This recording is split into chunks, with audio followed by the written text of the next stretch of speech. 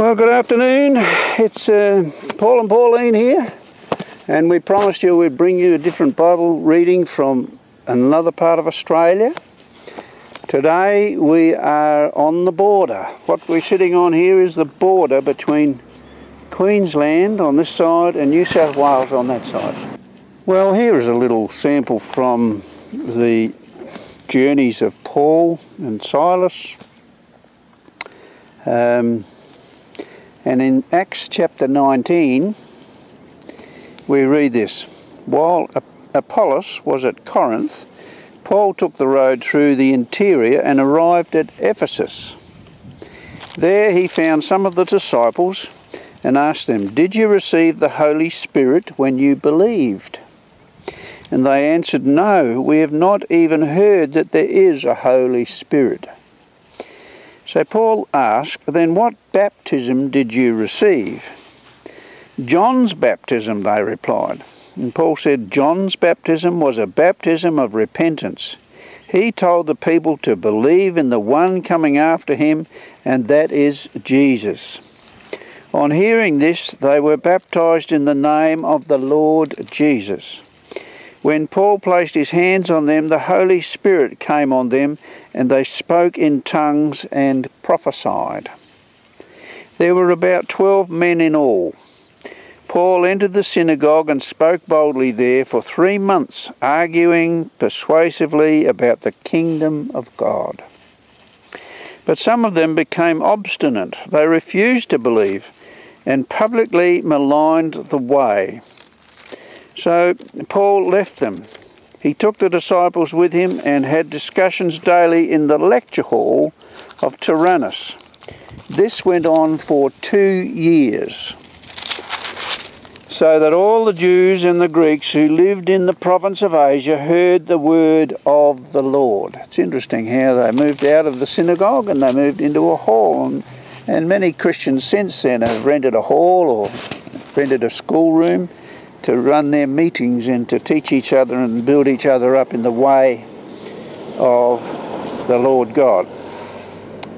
From verse 11 God did extraordinary miracles through Paul, so that even handkerchiefs and aprons that had touched him were taken to the sick, and their illnesses were cured, and the evil spirits left them. Some Jews who went around driving out evil spirits tried to invoke the name of the Lord Jesus over those who were demon possessed. They would say, In the name of Jesus, whom Paul preaches, I command you to come out. Seven sons of Sceva, a Jewish chief priest, were doing this. One day the evil spirit answered them, Jesus I know, and Paul I know about, but who are you? Then the man who had the evil spirit jumped on them and overpowered them all. He gave them such a beating that they ran out of the house naked and bleeding. When this became known to the Jews and Greeks living in Ephesus, they were all seized with fear, and the name of the Lord Jesus was held in high honour. Many of those who believed now came and openly confessed what they had done. A number who had practiced sorcery brought their scrolls together and burned them publicly. When they calculated the value of the scrolls, the total came to 50,000 drachma. In this way, the word of the Lord spread widely and grew in power. After all this had happened, Paul decided to go to Jerusalem, passing through Macedonia and Achaia. After I have been there, he said, I must visit Rome also. He sent two of his helpers, Timothy and Erastus, to Macedonia while he stayed in the province of Asia a little longer. So there's a little sample of Paul's journey into, into Asia and into Ephesus.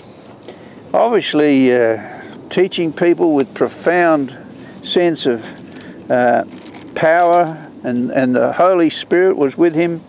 He was anointed as he spoke, and, and also people were healed. There were signs and wonders as Paul went about teaching people about the Lord Jesus Christ. So there's a little study of uh, the book of Acts. I hope that you read all of the book of Acts. You'll see what the disciples were doing in those early years, spreading the word of God and, and having people converted to Christianity, and that's how the kingdom of God grew in those early days. We hope you get into the Word and may the Word get into you. If you want to follow our Aussie Bible study further, then just click on the button at the end of this video and come to the next reading from the book of Acts.